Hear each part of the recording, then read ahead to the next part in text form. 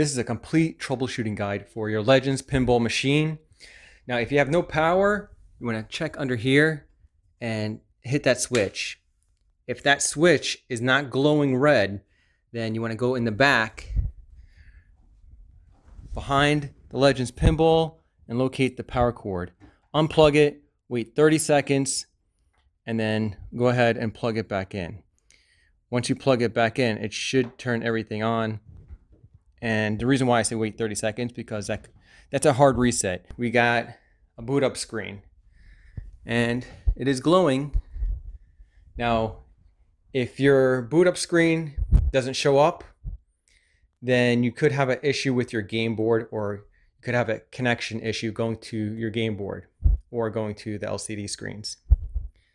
Now, you should wait until it boots up. If it doesn't boot up properly, then you could have something plugged into the USB, and then unplug it, make sure everything's unplugged from the USB ports, and then try to boot it up and see if that works.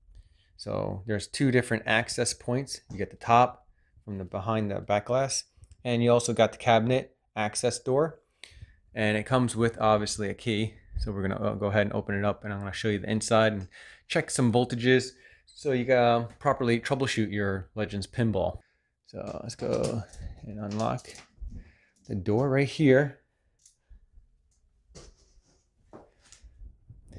And if you have any kind of distortion or sounds like muffling, it could be a blown speaker. If you do have a blown speaker, I'm going to show you how to replace that. And if you have no display on your back glass, so if there's no display, you want to go ahead and check this connection right here. So you just slide this down and slide this out and reseat the connections.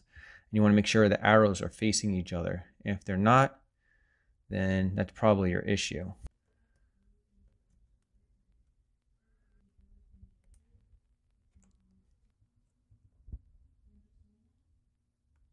We're going to take a look at the bottom right here. This is where the boards are and the plugs. So if you pull this up and out, you can unplug the speakers. Just go ahead and squeeze this top piece right here and then this should come right out, just no problem. And to remove the speakers, it's really easy to do. And they just come right off like that. And you do have to desolder them Now, if you're going to test your speakers, it says right back here, you should have four ohms. This is a five watt. And right here, I'm reading four ohms. So this is good. So let's go ahead and check the other one. Make sure the other one is good. And that is four ohms as well. Anytime you're working on the Legends, always unplug the power. And if you're going to replace the speakers, you're going to have to use a soldering iron. And I'm using a 50 watt soldering iron. This is an adjustable soldering iron. That's one. And that's two.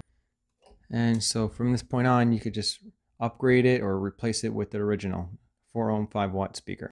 Now the speaker itself could be good and you could have a tear in the paper and you could physically take a look. By pushing on this right here, you'll see if there's any tears alongside you know, within the ring. There's a ring here and the inner, inner ring. And there's no tear, so we're good. And if you want to solder it back on, the new one, get a new speaker, you just do that. All right.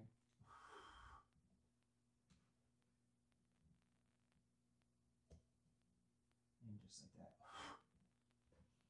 All right. If you have if you have to add solder, you could do it just by just tapping it. Like that. Oops. I should really be holding it. And you hold it steady for about 10 seconds.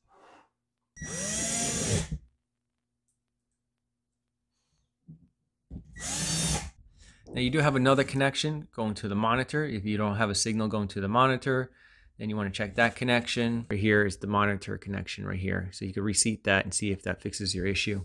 But I'm going to show you how to swap out the board. So if your game board is bad, so I'm going to show you how to swap out the board. So if your game board is bad, you'll know it because you'll have no signal on the screen and the um, sounds and the video won't be playing.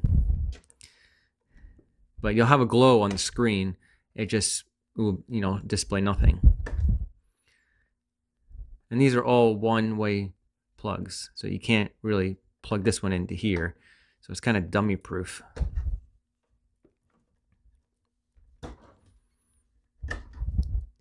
And then for this one, you squeeze the sides and that comes out. And then right here, this one actually has a ground connection right here you have to take off. And this is the Wi-Fi.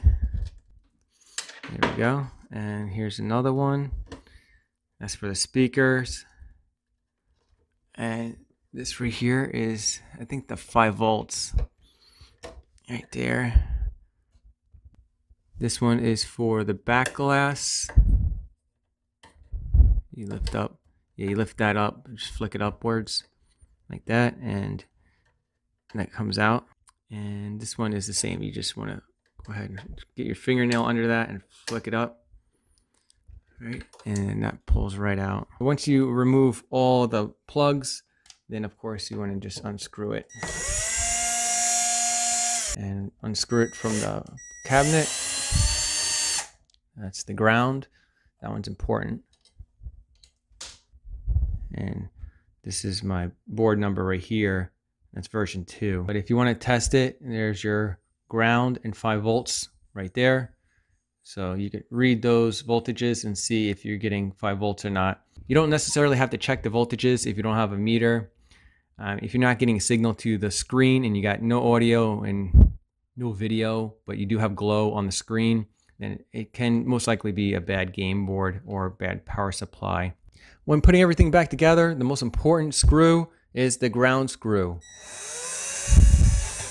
So you want to make sure that is fastened nice and tight. I have my drill set to 3 torque so I don't strip out the screws. All right, so let's go ahead and plug everything back in.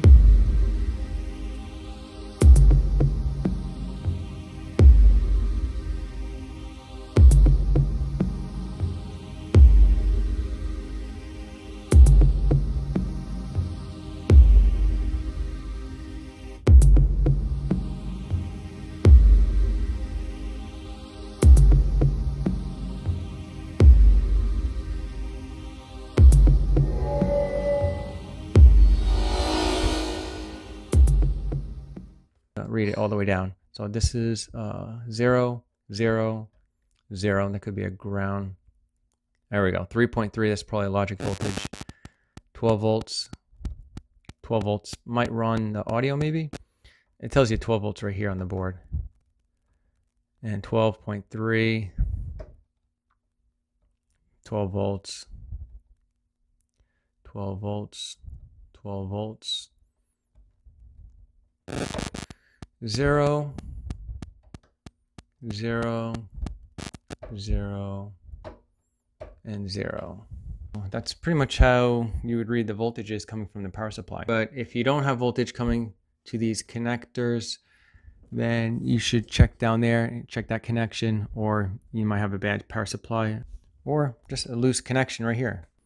Now to replace the power supply, you're gonna have to probably get a smaller screwdriver.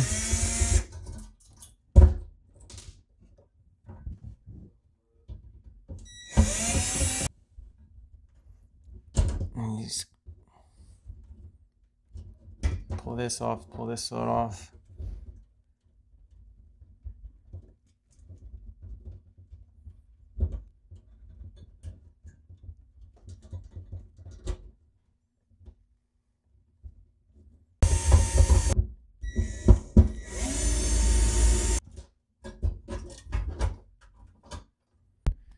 And this is the last one. Let's go ahead and unplug that. Let's go ahead and take that out right there. And this is the power supply. Now, if you ever do work on these boards and it's been like five years or so, you could check these capacitors and see if they're blown or swollen and or just replace them because they tend to go bad between like, you know, five, between five to 15 years. It's possible they can go bad. Now, if you're to check the fuse, the fuse is right here and this is a 4 amp fuse put it right here so you guys can see what I'm doing. And so the fuse is right here. And to check that, you just put your lead on one end and the other on the opposite. And that is good, a good connection. It's basically a bridge connection like that. It's like it's, um, you know, if it's blown, it'd be like an open switch. So if you're reading like that, OL, open loop or open line, then it's bad. But the fuse is closed and we're good. So that's how you check the fuse. Remember, when putting everything back together, the ground wire is the most important one to screw in because without that, then you're gonna have a lot of issues with your Legends pinball. So make sure that's tightened. And same goes for that one. And once again, make sure your Legends pinball is unplugged. The power cord is unplugged before you plug this in. If you have issues with your monitor or you're swapping out your monitor and you want to unplug this and unplug this and unscrew this before you know pulling out your monitor or else you'll damage the boards. Now if you have a dark screen on the bottom or the dark screen is on top and half of the screen is dark or the whole thing is dark, I'm to show you how to fix that. And you want to check these red wires. So you just want to make sure those connections are plugged in nice and secure and you just push them in or reseat them if you wanted to. And that should fix your issue.